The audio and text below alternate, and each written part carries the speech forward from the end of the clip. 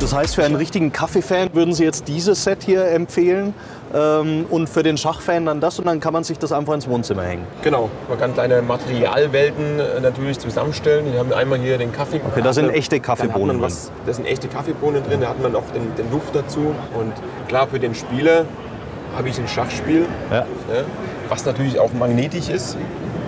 Das heißt, ich kann hier auch ich wirklich kann spielen. wirklich an Also, der Wand spielen. ich bin jetzt nicht der beste Schachspieler, aber ich weiß, ein Turm geht nur geradeaus, könnte ich jetzt hier einfach auch Genau, werfen und dann nehmen wir genau, das raus. genau. Das Schöne an dem Wallab letzten Endes ist auch, ich kann es von der Wand nehmen. Und kann damit Okay. spielen halt. Das Züge heißt, man hat, stehen. man hat das äh, Schachbrett auch immer gut aufgeräumt, weil es dann danach einfach Genau, ich als Style-Objekt an der Wand hängt.